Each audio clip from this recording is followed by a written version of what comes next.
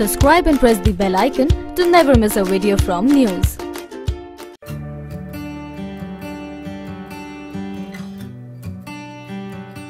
No more snapping ties with the world when taking a flight. In a good news for air passengers, the Telecom Commission granted conditional approval for in-flight mobile service connectivity in domestic and international flights in India.